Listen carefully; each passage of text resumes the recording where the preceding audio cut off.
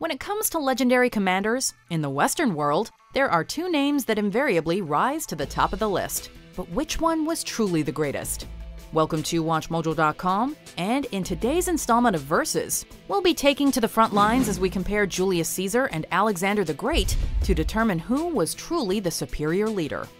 Before we begin, we publish new content every day, so be sure to subscribe to our channel and ring the bell to get notified about our latest videos. Round 1 Tactician When Julius Caesar needed a job done, he got it done. Capable of making and executing quick and ruthless decisions with an energy described as, quote, terrifying by his political contemporary Cicero. If Caesar needed to stack the deck in his favor and the natural terrain did not suit him, he would remake the topography as necessary. We take Alesia in the morning. Famously, in the Battle of Alesia against Vercingetorix, king of the Gallic Arverni tribe, he built not one, but two massive walls around the city to set siege.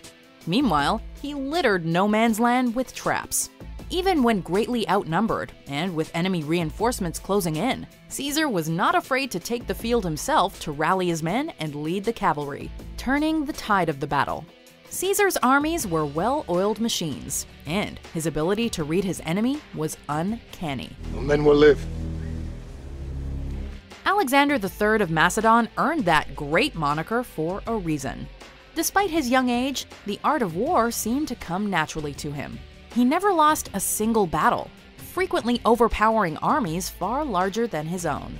Supremely adaptable and supported by the fierce loyalty of his men, he was also a prudent leader. It was mad. 40,000 of us against 250,000 barbarians. It was the day Alexander had waited for all his life. In advance of the Battle of Gaugamela, when King Darius of Persia attempted to apply scorched earth tactics along the Euphrates River, Alexander chose another route and foiled the plan. In the battle proper, Alexander employed a unique front line to better apply his smaller numbers, and baited the larger army to expose their center, winning the day. Not only did Julius Caesar himself admire and wish to emulate Alexander's tactics, but the Macedonian strategies are studied in military academies all over the world to this day. Conquer your fear! And I promise you, you will conquer death! For setting the standard and setting it high, the point here goes to the Great One. Winner, Alexander the Great. Round 2 Legacy. To this day, when we think of capital G great civilizations, we think of Rome. In large part, this is due to Julius Caesar and his influence. Guards can keep my enemies away, they can do nothing about my friends. After years of successful military campaigns, he returned to Rome, started a civil war, led his hardened forces against his former allies, and after several decisive victories, was appointed dictator. This established the line of emperors, and the Roman Empire continued long after Caesar's assassination. His influence was not just felt in his time, but echoed out for years, shaping the whole of the Western world in ways both great and small. For example, the fact that the Western calendar is 365 days long and that there are leap years was all his doing. So much of the Western world and how we organize ourselves is due to one man, and that is pretty mind boggling. Alexander was, for his time, a unifier of nations and inspired many leaders for years to come. For the freedom and glory of Greece! However, his united conquests dissolved quickly after his untimely death. One of his greatest innovations was to bring cultures and customs together under one common banner, rather than force those cultures to assimilate. A mosaic rather than a melting pot. Many cities were named after him, most notably Alexandria in Egypt, and his influence helped spawn the Greek Hellenistic period. After his death, even though the empire he had devised was broken up by civil wars, many cultures remained blended, the syncretism of which caused many new offshoot cultures and customs. Alexander may have planted seeds, but it was Caesar who grew the oak. Winner, Julius Caesar. Round 3 Success Rate. Like most great leaders, Julius Caesar had his ups and downs, predominantly ups. Good enough. Not only was he able to outmaneuver his political rivals, thwarting attempts to limit his rise in power, and having his governorship set for five years rather than the standard one, it's on the battlefield that he first made major waves.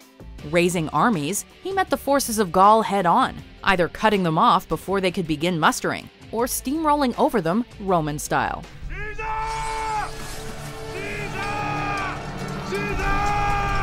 However, starting in the summer of 55 BC, he attempted to take Britain and was repelled.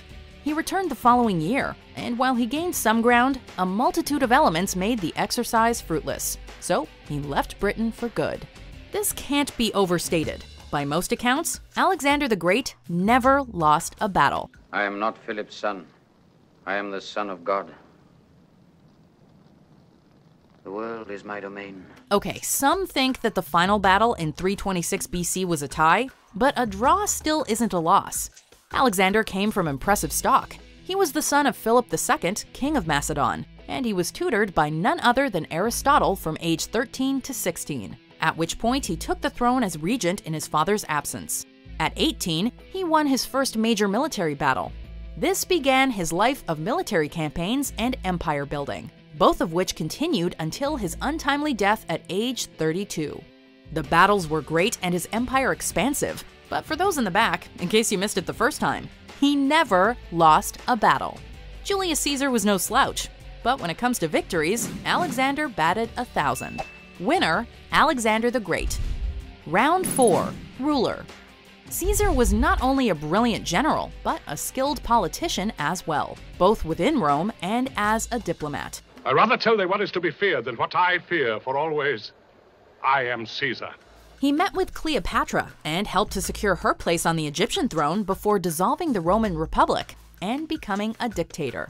He established the line of emperors of Rome and took his rule very seriously, until he was, you know, stabbed to death for being a tyrant.